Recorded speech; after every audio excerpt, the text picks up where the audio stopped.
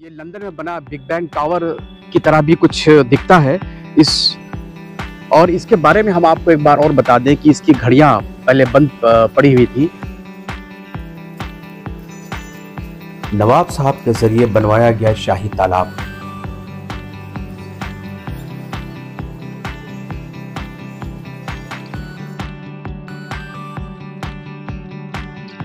Satkhanda tower, लेकिन अब ये सिर्फ़ चार ही मंजिला है।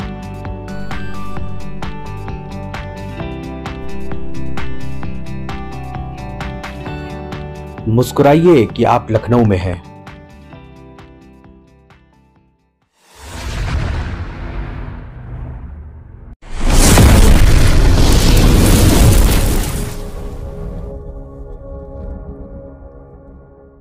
हेलो दोस्तों, कैसे हैं आप लोग?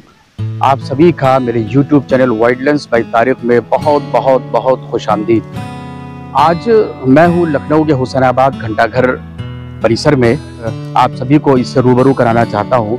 ये घंटाघर तो अब बनता नहीं है, ना अब इसका कॉन्सेप्ट रह गया है, ना इसको लोग बनाती है सरकार। ये पहले का कॉन्सेप्ट था, अंग्रेज़ पीरियड जब था, उस वक्त ये घंटाघर बनाए जाते थे। तो ये उसी टाइम का एक घंटाघर है। ये घंटाघर जो आप मेरे पीछे देख रहे हैं, ये लखनऊ का हुसैनाबाद में बना ये घंटाघर है, जिसके बारे में मैं आज आपको बताने वाला हूँ और दिखाने वाला हूँ। अगर आप मेरे चैनल पर नए हैं तो उसे सब्सक्राइब कर दें लाइक कर दें और शेयर भी कर दें। और अगर सब्सक्राइब कर रहे हैं तो उसका जो घंटी का जो आइकन है, उसको भी दबाना ना भूलें।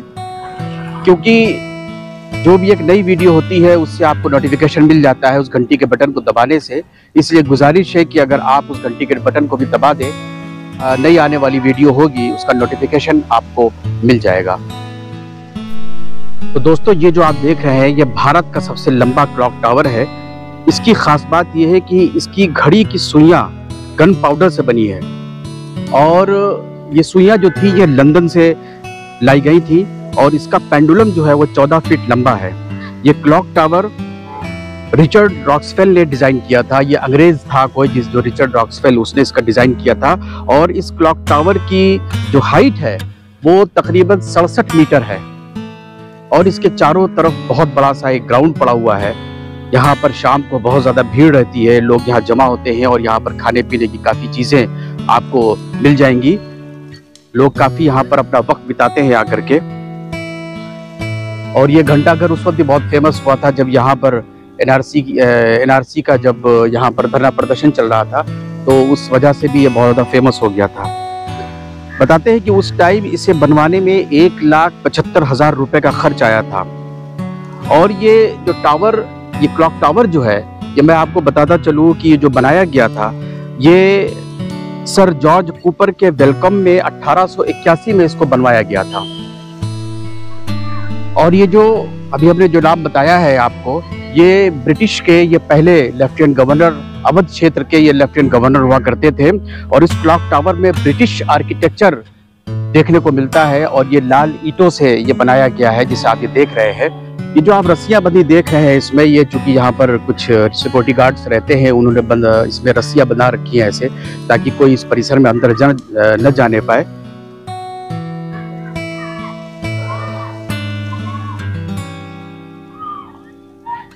और ये बहुत बड़ा परिसर है इसका। इसमें शाम के वक्त बहुत भीड़ रहती है। इस वक्त भी आप ये देख रहे होंगे काफ़ी लोग यहाँ बैठे हुए हैं यहाँ की छाव में।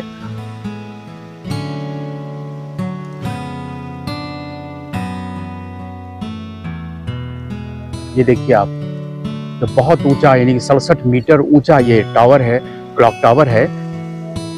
नाजरीन, इसके ऊपरी हिस्से के ऊपर एक पीतल की चिड़िया लगी हुई है, जो आज भी हवा का रुख बताती है। और आज मैं कोशिश ये करूँगा कि इस घंटाघर के अरीब करीब का जो रात का जो समा होता है, वो भी मैं आपको दिखाने की कोशिश करूँगा। ये लंदन में बना बिग बैंग टावर की तरह भी कुछ दिखता है। इस और इसके बारे में हम आपको एक बार और बता दें कि इसकी घड़ियाँ पहले बंद पड़ी हुई थी, लेकिन इस घड़ी को बनाने के लिए दो लोगों ने बहुत मेहनत की है क्योंकि 2010 में यहाँ के तत्कालीन डीएम ने इसको फैसला किया कि इसकी घड़ी को बदल दिया जाए और इसकी जो घड़ियाँ हैं, गेयर और चाबी के ऊपर डिपेंड है तो उसको इलेक्ट्रॉनिक घड़ी कर दी जाए। लेकिन इसमें यहाँ के दो लोगों ने 2010 में जाकर के डीएम से मिले और उनसे एक परमिशन मांगी दो लोगों ने डीएम से अनुरोध किया कि हमें इसे सही करने का मौका दिया जाए। उनकी कोशिश ये थी कि इस मशीन को इलेक्ट्रॉनिक मशीन में न बदला जाए। तत्कालीन डीएम ने उन दो लोगों को परमिशन दे दिया। और उन दो लोगों का जो नाम था, जो मैं आपको बताता चलूँ, उन दो लोगों का जो नाम था, उनमें नाम एक था कैप्टन परितोष चौहान और अखिलेश अग्रवाल को इसकी मरम्मत की ज़िम्मेदारी दे दी गई। कई साल की लगातार मेहनत के बाद आखिरकार उन्होंने इस घड़ी को चला दिया और ये घड़ी अपना वक्त बताने लगी। बहरहाल, इस धरोहर को बचाने के लिए उनका धन्यवाद। और अल्लाह उनको सलामत रखे जिन्होंने इस काम को किया, वरना ये धरोहर जो थी, ये जो इंग्लिश पीरियड की थी, ये ख़त्म हो जाती और ये भी इलेक्ट्रॉनिक उसमें बदल जाती। तो नाजरीन, ये जो आप देख रहे हैं इस वक्त का जो नज़ारा है, वो ये रात का नज़ारा है अब ये लाइटें जल चुकी हैं इस घंटा घर के आसपास की और घंटा घर पे भी पूरी तरह से लाइट पड़ रही है। और ये रात का पूरा व्यू है जिसे आपको मैं दिखाना चाह रहा हूँ और दिखाने की कोशिश भी कर रहा हूँ।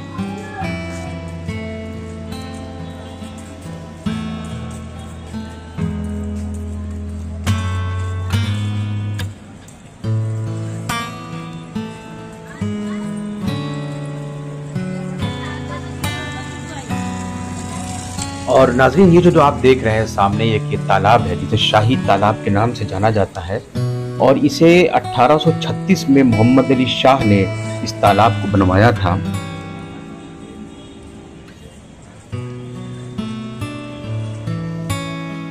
इस तालाब का रात का नज़ारा तो हमने आपको करा दिया। अब ये दिन की रोशनी का ये नज़ारा है, और ये शाही तालाब के नाम से इसे जाना जाता है, और इसकी चारों तरफ़ सैकड़ों की तादाद में सीढ़ियाँ हैं। और बीच में इसका बरसात का पानी भरा हुआ है, जिसमें आप देख रहे हैं, इसमें म्यूजिकल फाउंटेन भी लगा हुआ है।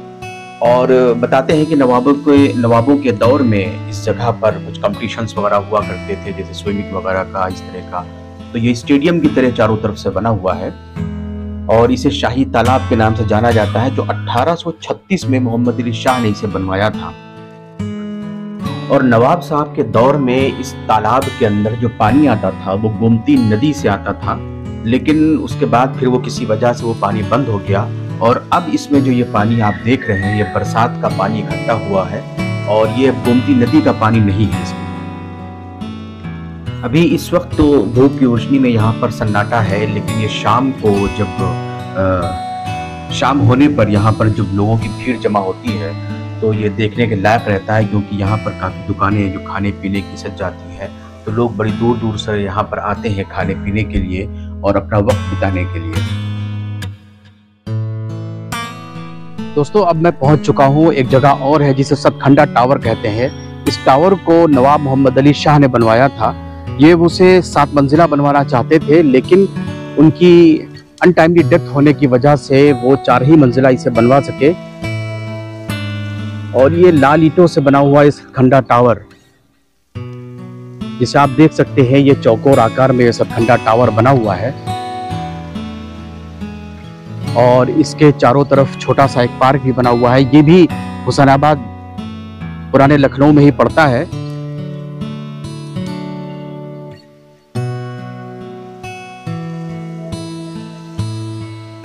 नाजरीन, ये एक बहुत बड़ा एरिया है घंटा घर का, जो हुसैनाबाद जहाँ हमने आपको बताया है, उसी में ही ये शाही तालाब भी बना हुआ है और उसी से ही लगा हुआ ये सतकंडा टावर भी है। इस टावर को मोहम्मद अली शाह ने 1842 में बनवाया था।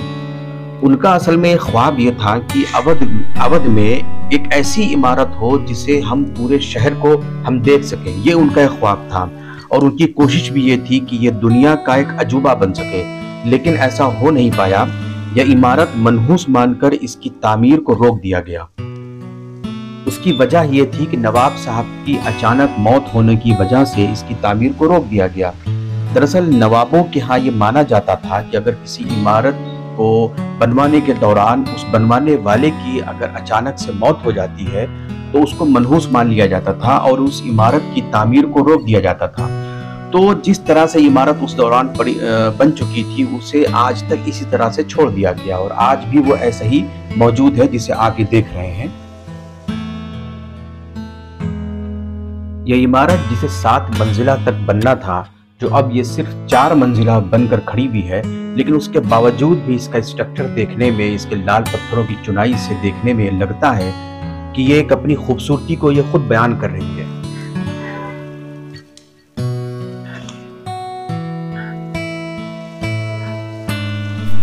इस मीनार का स्ट्रक्चर देखने में ऐसा लगता है कि इटली के लीलन टावर ऑफ़ पीसा को आप देख रहे हो।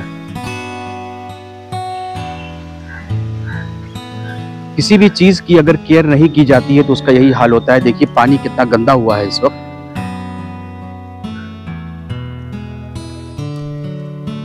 इस सतखंडा टावर के दोनों तरफ़ एक एक तरफ़ तो एक छोटा सा ग्राउंड पड़ा हुआ है और एक तरफ़ इसमें छोटा सा बागीचा, इसमें फूल पौधे लगे हुए हैं और उसके सामने की तरफ़ एक हाउस बना हुआ है जिसमें कुछ फव्वारे और इस तरह से पानी भरा हुआ है। लेकिन फिर भी आप देख रहे हैं जो सामने जो फव्वारा बना हुआ है, उसका हौज अभी भी सूखा हुआ है, उसमें पानी नहीं है।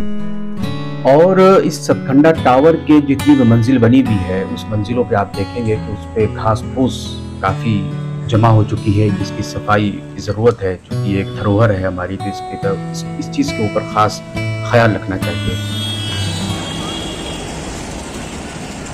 तो नाजरीन अब मैं आपसे तो यही कहूँगा कि आप मुस्कुराइए कि आप लखनऊ में हैं और ये वही एक तारीखी रास्ता जिससे आप बारहा इस रास्ते से गुजर गुजर चुके होंगे और ये वही गेट है जिसमें से भी आप कई बार गुजरे होंगे और ये उसी घंटा घर या शाही जो तालाब है, उसके सामने का ये रोड है और ये गेट बना हुआ है, जिसे आप देख रहे हैं कि तारीखी गेट है, नवाबों के दौर का है ये।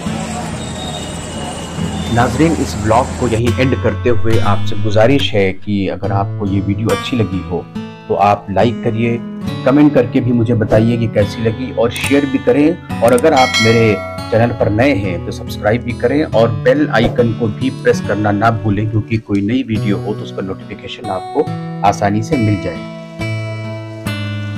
बातें और भी हैं, जानकारी और भी है, लेकिन आज के लिए सिर्फ़ इतना ही। तब तक के लिए आप अपना और अपनों का ख्याल रखें, खुश रहें, सलामत रहें। मिलते हैं अगली जानकारी के साथ अगले ब्लॉग में।